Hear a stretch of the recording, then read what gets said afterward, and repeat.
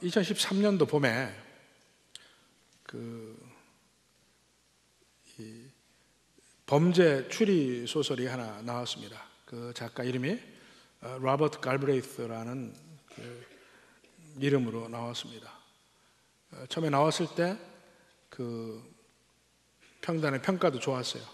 어, 석달 동안 미국에서 한 3,500건 정도 팔렸습니다. 근데 그 이후에 점점 세일즈가 떨어져서 매주 이제 그 책 팔리는 그걸 미국에서 통계를 내서 발표가 되는데 7월 4일 그 주에는 한 주에 43권밖에 팔리지가 않았습니다. 봄에 나온 건데. 근데 바로 그 다음 주에 17,660권이 팔렸어요. 그 전주에 43권이었던데. 어떻게 한 주 사이에 이렇게 놀라운 변화가 있었나 하면 바로 그 로버트 갈브레이스라는 그 이름이 필명이고 진짜 저자 이름이 밝혀진 거예요. 진짜 저자가 누구였냐면 조앤 롤링이었습니다. 예, 조앤 롤링 해도 아무도 놀라는 사람이 없기 때문에 제가 설명을 할게요. 조앤 롤링이 누구냐면 해리포터의 저자입니다. 해리포터의 저자, J.K. 롤링이라고 하는데 그 유명한 작가가 자기 이름으로 내지 않고 필명으로 로버트 갈브레이스라는 이름을 썼습니다. 이게 누군지 모르죠? 소설도 좋아요. 그 사람들이 에이, 별거 아닌 걸로 생각을 했습니다. 근데 그 저자가 실제 저자가 조앤 롤링이라는 사실이 밝혀지면서 갑자기 그 책이 불티나게 팔린 거예요. 나중에 보니까 그 출판사가 책이 안 팔리니까 진짜 저자를 흘린 겁니다. 그래서 나중에 그 작가인 조앤 롤링이 막 고소한다 하고 난리가 났었습니다. 근데 이걸 보면 소설은 하나도 틀리지 않고 똑같은 거잖아요.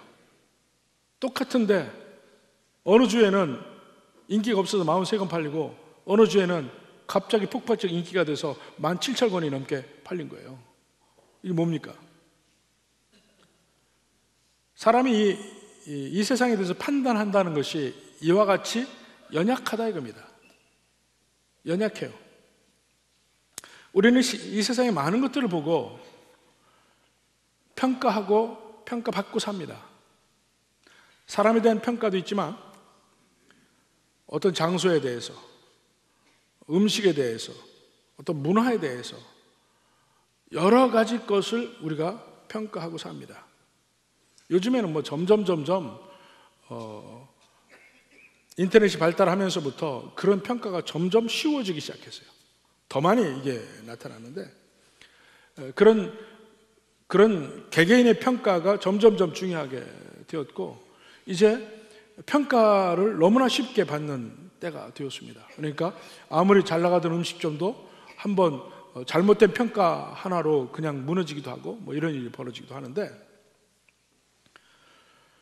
지금 고린도 교회에서는 그들이 바울을 평가하고 있습니다. 바울이 어떤 사람이냐 하고 이야기를 할때 어, 그들에게 있어서 아직까지는 바울은 형편없는 사람이에요. 고린도전서가 쓰여진 이 당시만 해도 바울을 통해서 그들이 전도를 받고 바울을 통해서 그 교회가 세워졌음에도 불구하고 그들이 바울을 향한 평가는 형편없다고요. 근데 어, 바로 그들의 그러한 평가가 잘못되었다 하는 것을 먼저 이야기를 합니다. 그것이 1장부터 3장까지 내용이에요. 너희는 나를 평가하면서 세상의 지혜로 평가를 하고 있다는 거야. 세상의 소피아. 헬라, 헬라 철학에서 말하는 그 소피아를 그들이 가지고 있다고 생각하면서 그 지혜로 평가하고 있는데 그건 잘못됐다 이겁니다.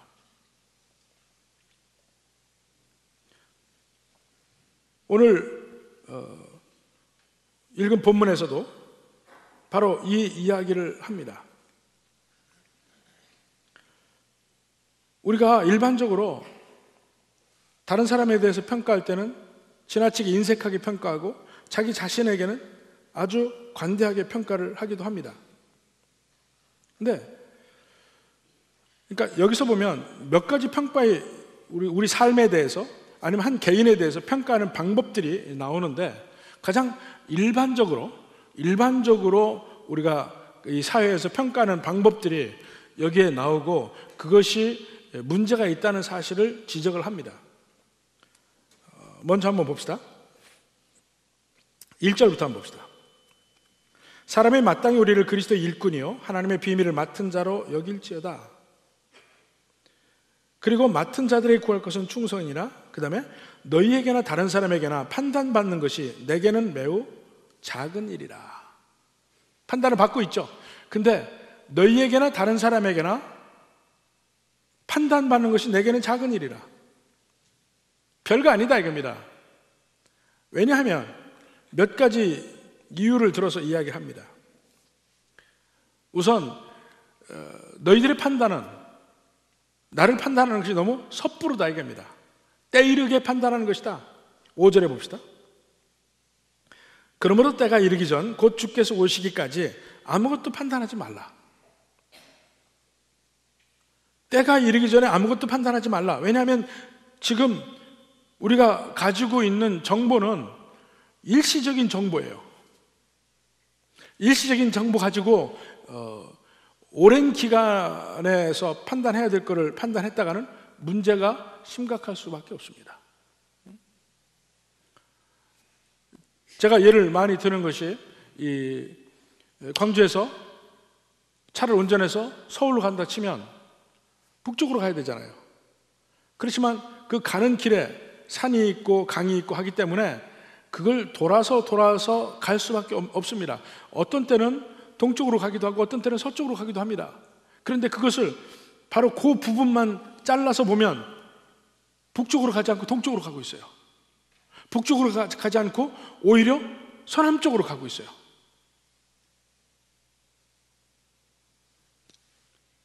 그건 너무 섣부른 판단, 너무 이른 판단이라 이거죠. 여기서도 미리 판단할 때 문제점을 거기서 이야기를 하고 있습니다. 5절 후반부 보면 그가 어둠에 감추인 것을 드러내고 주님께서 드러낸단 말입니다. 마음의 뜻을 나타내시리니 거꾸로 얘기하면 지금 우리가 판단하는 것의 문제점이 뭐냐면 어둠에 감춰진 것을 못 봐요. 마치 조앤 롤링이 로버트 갈베리스라는 이름으로 소설을 냈을 때 그 진짜 정말 그 유명한 작가가 질적으로 높은 작품을 썼음에도 불구하고 안 보인다고요. 진짜 작가가 가려져 있어서. 어둠에 감추인 것이 있고 마음의 뜻, 똑같은 행동이 있다 하더라도 그 마음의 동기는 전혀 다를 수 있습니다.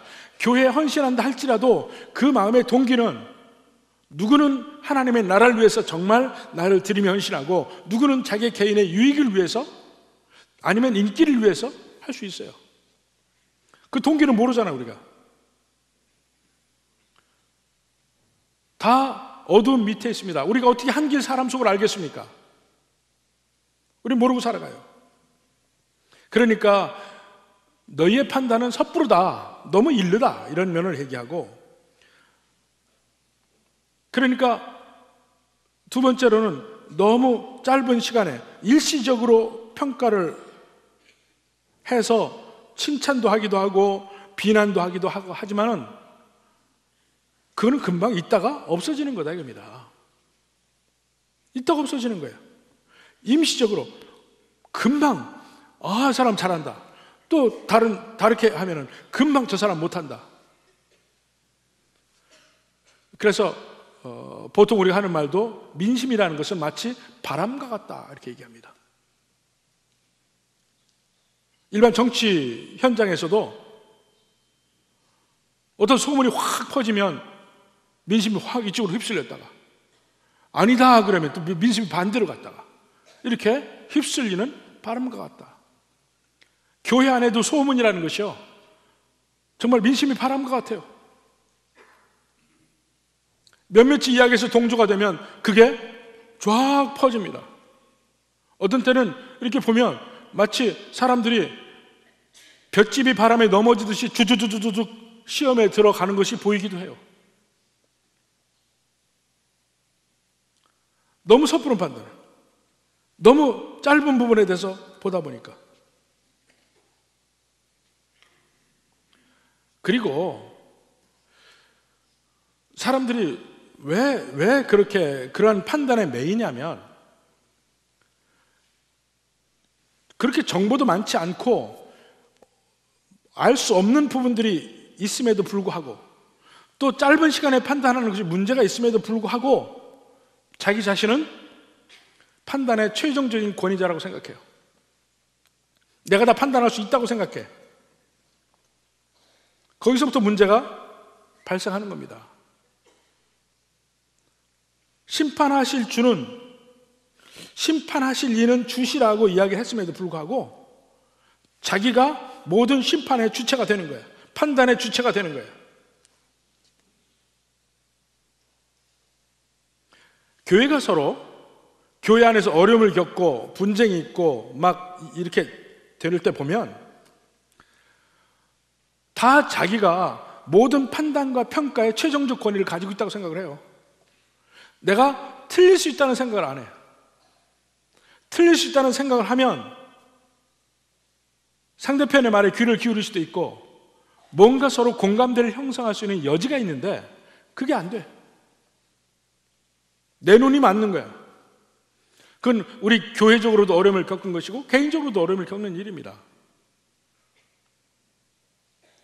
막 잘못됐다고 해요. 그러면 객관적인 제3자 기관에 그것을 판단을 맡기잖아요. 주장이 서로 엇갈리면. 나름대로 우리 교단 안에는 노회도 있고 총회도 있습니다. 사회법으로는 뭐 지방법원, 고등법원, 대법원이 있습니다. 그래도 판단을 맡겨요. 또 신학 적인 거는 뭐 신학부에 맡기기도 하고 어떤 건 어디에 맡기기도 하고 그 객관적인 기관에 맡깁니다. 그런데 그 결과들이 다 자기 뜻에 맞지 않으면 거기를 다 매도해. 다 매도해. 끝까지 자기가 맞은 거야. 이 얼마나 편협되고 왜곡된 것입니까? 그런 일이 벌어져요.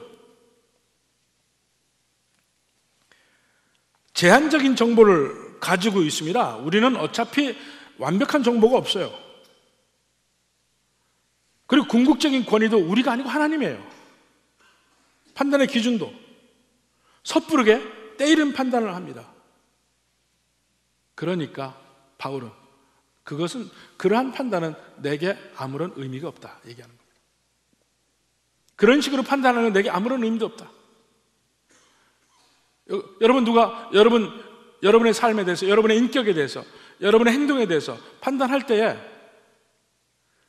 물론 내가 진짜 그런가 하는 건 뒤돌아볼 필요가 있겠지만 그 자기 검증이 끝난 뒤에는 그런 판단에 너무 지나치게 매일 필요가 없습니다. 그들은 다 제한된 정보를 가지고 편협되게 판단해요. 그럼에도 불구하고 너무나 많은 사람들이 마치 자기가 다 아는 것처럼 자기 기준이 가장 언제나 옳은 것처럼 판단하고 행동합니다. 그것은 그 사람의 인생의 독약이고 다른 사람에게 독약을 퍼뜨리는 것이고 고린도 교인이 가지고 있던 교만을 그도 갖는 거예요. 그런 교만함을 8절에서 이야기하고 있습니다. 너희가 이미 배부르며 이미 풍성하며 우리 없이도 왕이 되었도다. 왕이란 말은 모든 판단의 주체가 자기란 얘기예요. 우리 없이도 왕이 되었도다. 그래서 스스로 왕이 되어서 바울을 판단하고 있는 거예요. 우리도 다른 사람에 대해서 이러한 평가와 판단을 하죠. 근데 대부분은 겉핥기 판단을 합니다. 그 사람의 본질을 보지 못해요. 단지 그것을 애둘러서 판단할 수 있는 방법들을 가지고 합니다. 그 사람의 집안도 보고, 고향도 보고, 능력도 보고, 그의 영향력도 보고, 그의 지위도 보고, 여러 가지 것을 가지고 얘기해요. 그렇지만 그러한 기준점이 되는 것들 가지고도 우리가 사람을 제대로 볼 수가 없어요. 우리가 연말이 되면 항상 새롭게 인사이동들이 있습니다. 그러면 새로 오는 사람들에 대해서 이력서를 받잖아요. 이력서를 보는데 이력서 보, 보, 어떻게 알겠습니까? 그 사람들에서 일부는 알지만 정말 이 사람이 일을 잘할 사람인지 신실하게 할 사람인지 어디 몰라요. 겪어봐야 나중에.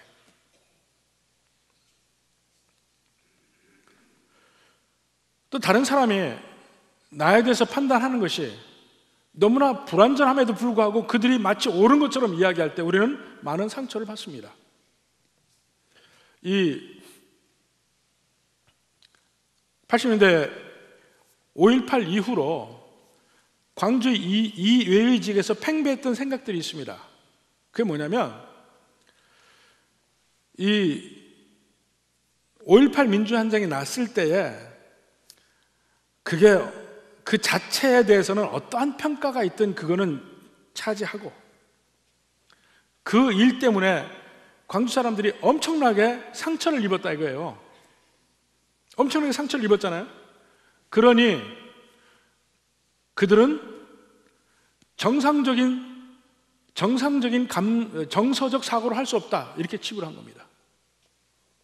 그래서 많은 곳에서 광주 출신 사람들은 안 쓰겠다 이렇게 나온 거예요. 두 번 죽이는 일이죠. 그들이 아무런 설사 아무런 죄가 없다 할지라도 그런 엄청난 트라우마를 한번 겪은 뒤에 사람들이기 때문에 그 뒤에 문제가 있을 것이다 이렇게 생각했어요. 한동안 결국 김대중 씨가 대통령이 되면서 그런 문제가 해소가 되기 시작했습니다. 제 개인적인 생각으로는 김대중 씨가 대통령에서 광주에는 특별히 많은 일을 한 건 없지만은 그래도 그분 때문에 이 그러한 트라우마에서 벗어날 수 있는 데는 큰 역할을 했다고 생각을 해요. 어떤 경우를 보면 그러니까 항변조차 할 수 없는 상황에서 악의적으로 퍼뜨려서 사람을 매장시키는 일이 너무나 비일비재합니다. 너무나. 그리고 그러한 가운데 어찌하든지 우리는 성공으로 가는 성공으로 가는 그쪽으로만 가요. 왜냐하면 사람들의 평가를 받을 때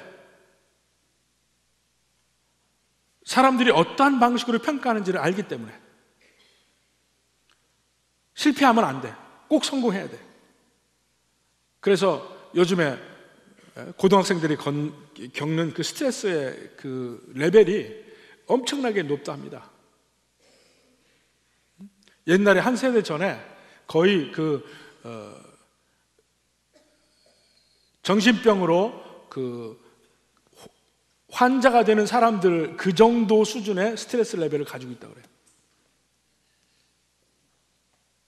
미국에서 현재 또 전체 여성의 30% 정도가 저녁에 수면제가 없으면 잠을 자지 못한대요. 스트레스 때문에. 왜 스트레스가 생기냐면 나는 성공하지 않으면 도태된다. 이게 점점 그 생각으로 꽉 차 있기 때문에 어찌하든지 실패하지 않으려고 발버둥 치는 가운데 스트레스가 쌓이고 그 스트레스 때문에 견디지 못하는 거예요. 근심과 걱정이 떠나지가 않아요.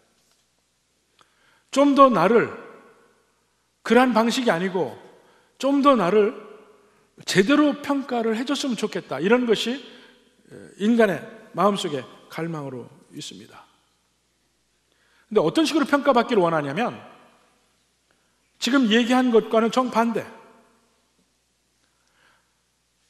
섣부르게 쉽게 평가하기보다는 좀 더 평가를 유보하고 좀 더 기다려 주기를 바랍니다. 바울도 여기서 우리가 평가받을 수 있는 적절한 시간이 나중에 온다는 거예요. 나중에 제대로 평가받을 수 있는 때가 온다는 거예요. 다른 사람을 평가할 때도 좀 기다려주자 이거예요. 지금 한순간에 있는 일 가지고 보지 말고 우리는 너무나 쉽게 어떤 한 사람의 행동을 사진을 찍습니다. 어느 순간에 있는 그 스냅샷의 그 순간에 그 사람의 행동을 보고 그 사람의 전체를 판단하는 경우가 너무나 많아요. 그때 그 순간 그 사람이 절대로 그래서는 안 된다. 그렇게 많이 이야기합니다. 제가 6학년 때예요. 6학년 때인데 어려서는 제가 좀 부잡했지만 그래도 초등학교 위로 올라가면서 점점 참한 학생이 되었습니다. 선생님에게도 참한 학생으로 이제 인정을 받을 때예요. 별로 공감하는 분위기는 아닙니다만은 이 그때 이 교실에 보면 강단이 있어요. 약간 높은 강단이 있고 거기 이제 선생님이 거기서 가르치시는데 쉬는 시간이 됐는데 막 애들 놀다가 보니까 강단에 진짜 부자반 친구가 바닥을 뒹굴면서 놀고 있어요. 저하고 어, 또 다른 차만 제 친구가 올라가서 걔가 뒹굴고 있으니까 놀려주고 싶었습니다. 그래서 뒹구는 위에 발을 막 이렇게 하면서 못 일어나게 했어요. 근데 멀리서 보면 강대상, 강단에서 춤을 추는 것처럼 보였나 봐.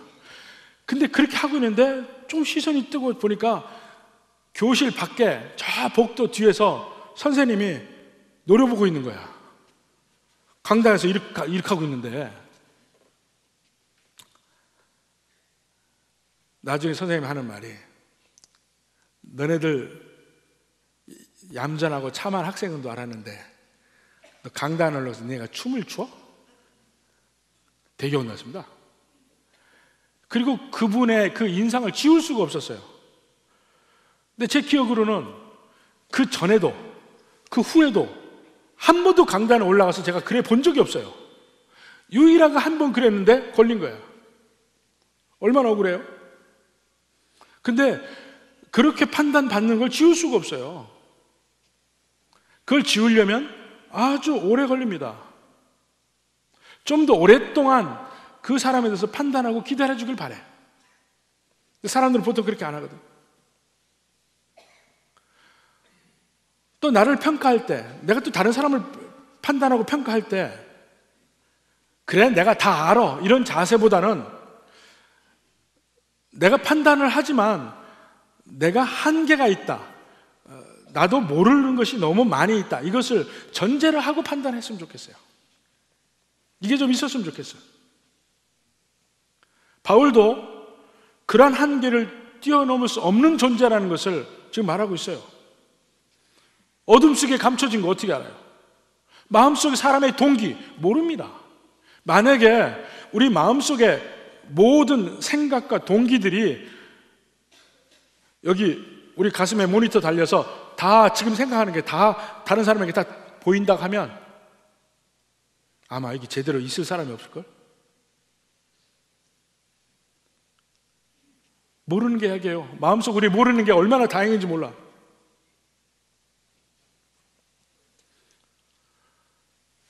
로버트 갈브레이스라는 그 필명 뒤에 조앤 롤링이 있었던 걸 아무도 몰랐잖아요. 우리가 적절하게 적정한 판단을 하기에는 우리는 정보가 너무나 부족합니다. 또 우리가 바라는 것은 짧은 순간에 확 하고 금방 또 아니면 아니다 하고 이런 것보다 좀 더 장기적으로 궁극적인 인정과 칭찬을 받기를 원해요.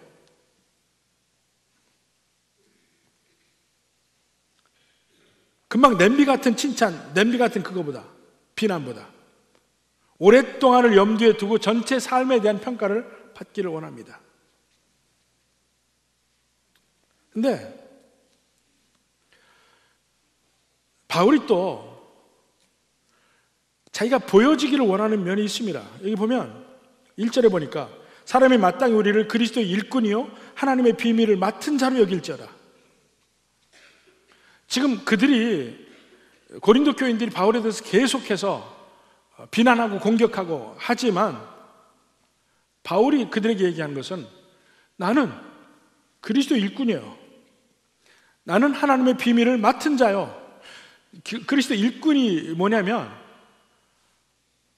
내가 그리스도의 종이면 내 주인인 그리스도께서 원하는 대로 해야 될 거 아니냐 이거예요.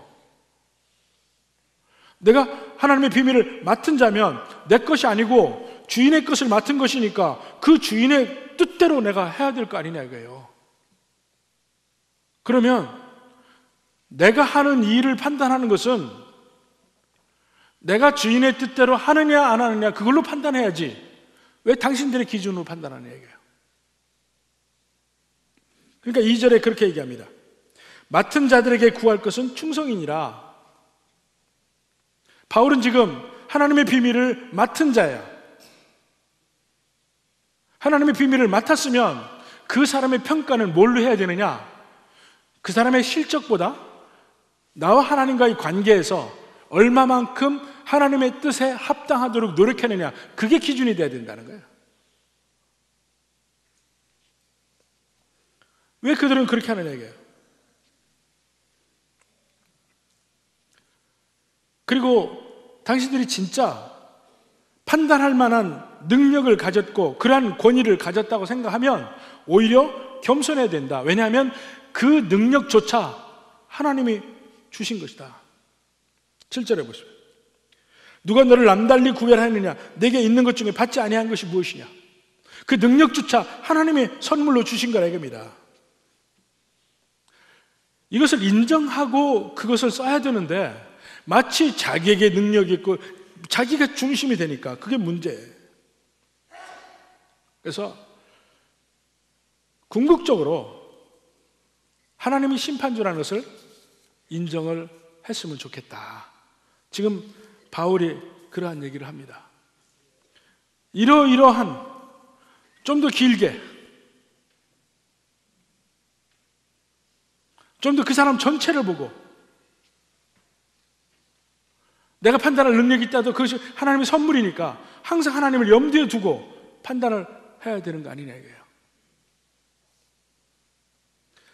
이러면서도 이러면서도 우리의 판단이 이렇게 판단받기를 원하지만 근본적으로 우리를 판단하는 기준점이 어디 있느냐 이거예요. 판단하는 기준점이. 이렇게 해도 문제가 있는 게 있다 이겁니다. 그게 뭐냐면 자 9절부터 13절 봅시다. 9절부터 13절.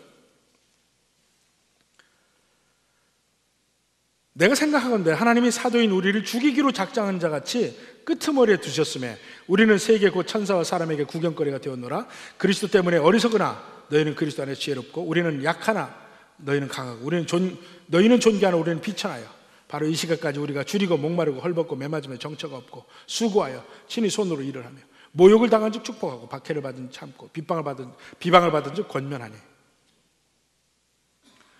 지금 고린도 교인의 눈에 볼 때는 바울을 이렇게 비판하는 이유가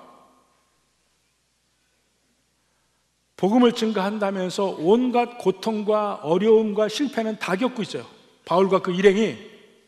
그러니 그들의 기준으로 봤을 때 어떻게 바울을 하나님이 택하신 사도로 보겠느냐 이거예요. 그들의 판단은, 그들의 판단의 기준에는 그게 아니야.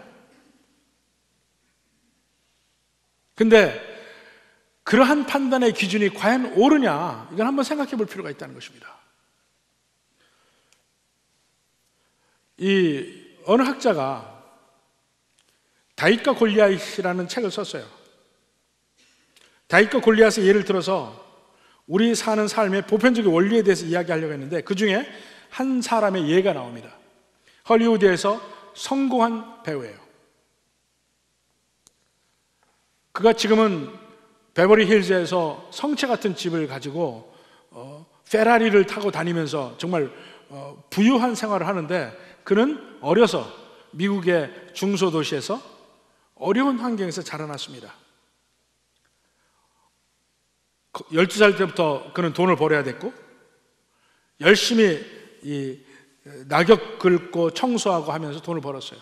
대학 때는 세탁소를 하면서 이 돈이 많은 동료 대학생들의 옷을 빨아주면서 대학을 다녔습니다. 집에서 조금씩 조그만 전기를 낭비한다 하더라도 아버지에게 호되게 혼났고 그렇게 자라났어요. 그래서 열심히 일한다는 것의 의미도 알고 돈이 어떤 것이라는 것도 경험을 했고 그러면서 그가 성공할 수 있는 기반을 바로 그 가운데서 다진 거예요. 근데 그가 성공했습니다.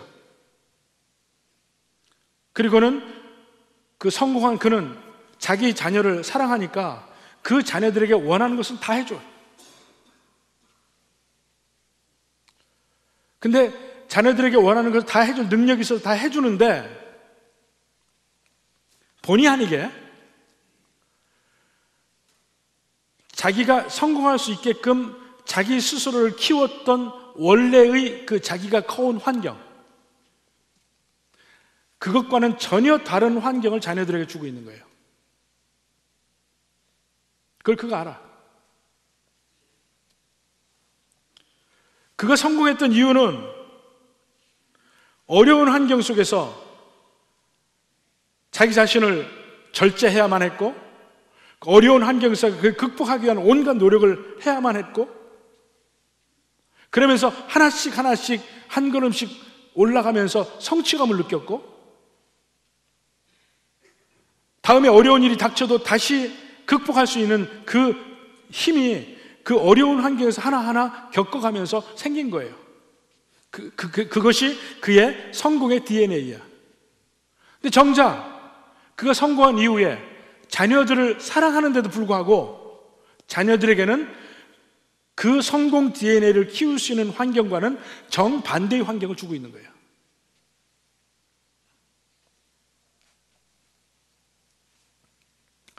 그가 이런 얘기 합니다. 오히려 그 자기의 성공이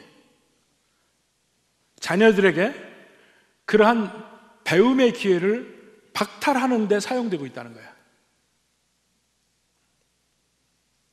세상적 기준에서도 일반적으로 봐서 자녀 교육이 훨씬 더 어려운 환경이 뭐냐면 우리가 경제적으로 어려울 때가 아니고 경제적으로 부유할 때 자녀 교육이 훨씬 어렵다는 게 일반적인 생각입니다. 사람들이 가난 때문에 자기의 삶이 무너지기도 하지만 오히려 부유함 때문에 그 삶이 무너지는 경우도 의외로 많이 있어요. 모든 것이 다 물질적으로 풍요로운 때에는 인생의 목적의식도 없어지고 자기 자신의 가치를 어떻게 키우는지도 몰라요. 어차피 다 있으니까. 뭐 하나 귀한 줄 몰라요. 그래서 부자가 3대가 못 간다는 얘기가 바로 그런 면이 있잖아요. 2대는요, 2대는 자기 부모 세대가 어떻게 어려움을 겪으면서 집안을 일으키고 재산을 어, 불리고 한지를 다 어려서부터 경험한 사람들입니다. 그 사람들에게는 그 부모들의 성공 DNA가 같이 가요. 3대는 아니에요. 3대는 처음부터 부유한 환경에서 컸어요.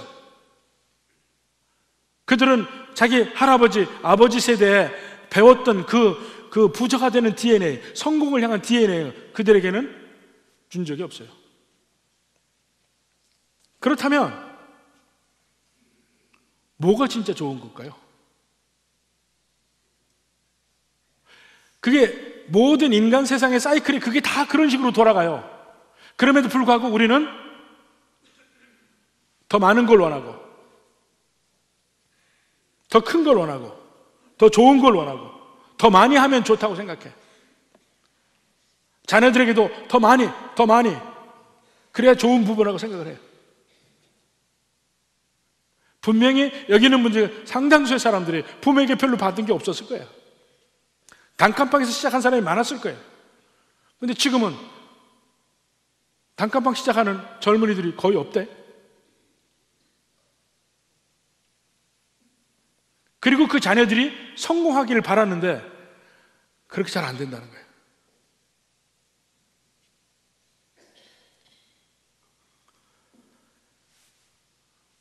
우리가 누구를 평가하는데도 정말 잘못된 방식의 평가가 있고 그 잘못된 방식 잘못된 방식 말고 좀좀더 어, 나은 방식으로 평가받기를 원해요. 좀 더 넓게, 좀 더 오래 해서 나를 평가하기를 바라는데, 근데 근본적으로 그 기준 자체가 잘못됐다는 거예요, 세상에서는. 기준이 잘못됐다는 거예요. 어느 것이 성공이고 어느 것이 실패냐 이거예요. 우리는 성공 실패를 세상적 기준으로 보고 있는데 진짜는 뭐냐 이거예요. 여기서 바울은 새로운 평가 기준을 이야기하고 있습니다. 자기는 당당하게 지금 아까 읽은 대로 우리의 삶은 바울이 이야기합니다. 우리의 삶은 마치 하나님이 우리를 죽이기로 작정하신 것 같은 그런 삶을 산다는 거야. 대놓고 우리 삶은 세상에 더럽고 세상에 찌꺼기 같은 그런 인생을 살고 있다는 거야. 그리고 보면 구절에 보니까 내가 생각하건대 하나님이 사도인 우리를 죽이기로 작정된 자 같이 끄트머리에 두셨다 그랬어요. 끄트머리에. 이게 무슨 얘기냐면 로마 시대에 전쟁을 많이 했습니다. 원정을 나가서 전쟁을 하는데 전쟁하고 승리하면 돌아올 때 그 로마 시인의 개선 행진을 합니다. 개선 행진을 하면 제일 앞에 사령관이 말을 타고 가요. 그 뒤에 병사들이 순서대로 갑니다. 그리고 제일 마지막에 누가 가냐면 포로들이 따라가요. 포로들이 그러면 전쟁 포로들이 뒤에 따라가면 거기에 온 로마 시민들이 조롱하고 야유하고 돌 던지고 막 그럽니다. 그렇게 해서 온갖 비웃음을 당하다가 마지막에 행진이 끝나면 거기서 처형을 당해요. 마치 자기들이 그와 같은 사람이 되었다입니다. 현재 자기들의 삶을 보니까 굶주리고 괴롭고 어, 헐벗고 목마르고 매맞고 모욕당하고 이런 모든 걸 보니까 마치 자기들은 개선행진에서 제일 뒤에 포로가 온갖 모욕을 당하다가 죽임당하는 그런 식의 삶, 삶이라 이거예요. 바울이 볼 때에. 하나님은 우리를 죽이려고 했나? 그러니 당신들이 볼 때는 우리가 얼마나 우습게 보이겠냐 이거죠.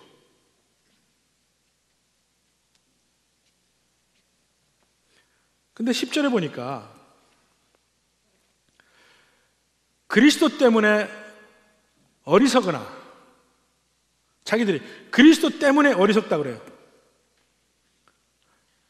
또 그리스도 때문에 약하나 그리스도 때문에 비천해지나 다 그렇게 나와 있습니다. 바울은 지금 현재 자기가 살고 있는 삶, 온갖 고난이 있고 비천함이 있고 이러한 삶이 이러한 삶이 사실은 고린도 교회 당신들의 기준에서 나은 삶이라고 하는 것보다 우리가 사는 이 삶이 훨씬 나은 거다 이거예요. 그걸 얘기하고 있습니다. 이 세상에서 우리가 낮아지면 우리는 높아질 것이고, 이 세상에서 연약하면 우리는 강해질 것이고, 이 세상에서 가난하면 우리는 부유해질 거다입니다. 이 새로운 더 나은 평가 방법을 이야기하고 있어요. 그 이것이 낫다고 바울이 어떻게 확신하느냐? 그는 이미 그 전에 그렇게 살아서 승리한 사람을 이미 봤기 때문에 그래요. 그게 바로 예수 그리스도예요. 예수 그리스도. 예수님께서 바로 그 방법으로 사시고 마침내 승리하셨어요. 예수님은 이 땅에 오실 때 말 구유에서부터 오셨어요. 세상에 태어난 모든 아기 중에서 말 구유에서 태어난 아기가 누가 있냐 이게. 태어남부터 그랬고 가난한 집안에 자라났고 동네도 사람들에게 비웃음을 받던 나사렛에서 살았고 뭐 하나 내놓을 게 없어요.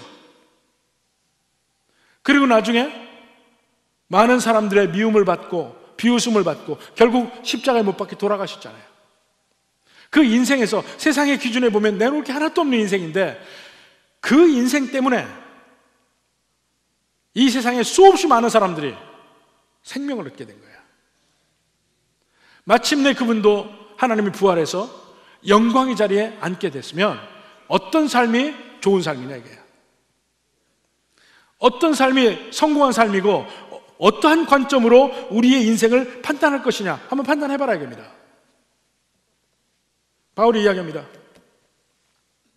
우리는 세상에서 더러운 것, 찌꺼기처럼 여기, 여김을 받았는데 이 세상에 더러운 것, 찌꺼기 같은 것이 천국에는 보물이요. 이 세상에 보물이라고 하는 것들이 천국에는 찌꺼기요. 어느 방향으로 가겠느냐, 이게. 이 세상에서 실패처럼 보여주는 것이 천국에서는 성공일 가능성이 훨씬 많아요. 이 세상에서 성공이라고 하는 것이 천국에서는 실패일 가능성이 많아요. 이것이 패러독스입니다. 이것이 인생의 뒤집힘입니다. 어느 인생이 성공한 인생입니까? 아까 얘기한 조앤 롤링이 2008년도에 하버드 대학 졸업식에서 연설을 했습니다.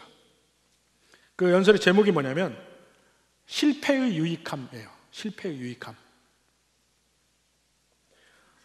조앤 롤링 자신이 어려운 환경에서 자라나서 어찌어찌 대학을 갔어요. 대학에서도 좋은 성적이 아니었어요. 졸업을 했고 졸업한 지 10년 안에 결혼했다 이혼했고 애가 있습니다. 빈곤 속에서 살았어요. 어떻게 해서 그가 소설을 써서 출판사를 다니는데 다니는 데마다 빠꿀 맞았습니다. 겨우겨우 한 군데 이걸 받아준 출판사가 있어서 출판을 한 것이 해리포터야.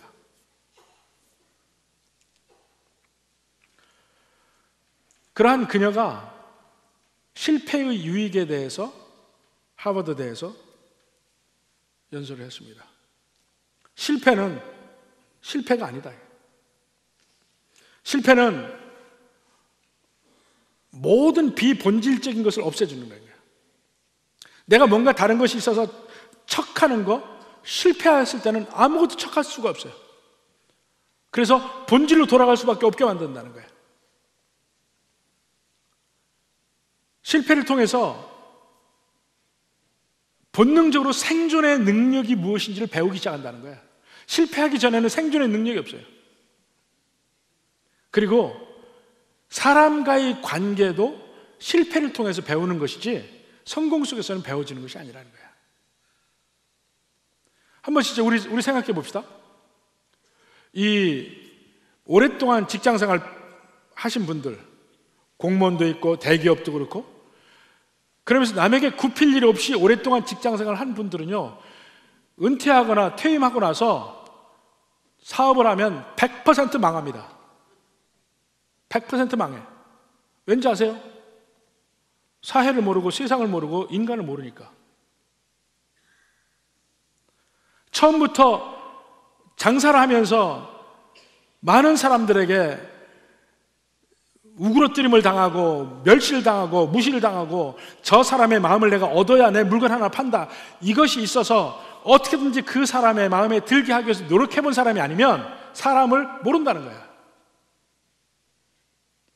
인간을 몰라요. 평생 갑으로만 있던 사람은 인간에 대해서 알 수가 없어요. 실패가 몰라, 실패가 없었던 사람은 인간을 알 수가 없어요. 그, 그 사람의 그 뒷면을 모르니까. 상대편에게 맞춘다는 것이 뭔지를 모르니까. 근데 실패는 우리에게 그걸 가르쳐 준다는 거예요. 그리고 실패를 통해서 진정한 나의 진 면목을 볼 수 있습니다. 실패하지 않고는 못 봐요. 이것이 성숙한 나를 만들어가는 과정. 그러니까 실패가 절대로 화가 아니고 실패가 아니고 오히려 복으로 가는 길이라는 거야. 일반 세상에서도 그런 얘기를 합니다. 근데 성경에서는 거듭거듭 세상에 가는 삶과는 정반대의 삶을 사는 것이 진짜 복으로 가는 길이라는 거예요. 정반대의 삶. 세상은 높아지려고 합니다. 근데 성경에서는 높아지려면 먼저 낮아지라고 합니다. 먼저 다른 사람의 유익을 위해서 살라고 합니다. 먼저 겸손하라고 합니다. 먼저 받는 것보다 주는 것을 좋아하라고 합니다. 어떤 때 내게, 내게 힘이 주어지면 그 힘으로 힘이 없는 사람을 돕는 데 쓰라 이겁니다. 이것이 우리가 사람을 평가하고 인생을 평가하고 내 스스로를 돌이켜보고 평가하는 기준이 되어야 합니다. 이것이 은혜의 패러다임이라고 해요. 여러분의 인생은 지금 성공한 인생입니까? 아니면 실패한 인생입니까? 아직 판단하지 마십시오. 그렇지만 어느 관점으로 봐야 되는지는 아십시오. 세상의 성공 절대로 천국의 성공 아닙니다. 세상의 실패 그냥 실패 아닙니다. 주님이 가신 길, 주님이 가신 방법대로 우리가 가기를 원합니다. 그때 비로소 바울과 같이 그렇게 고린도 교인이 나를 무시한다 하더라도 나는 그거 아무것도 아니라고 생각한다.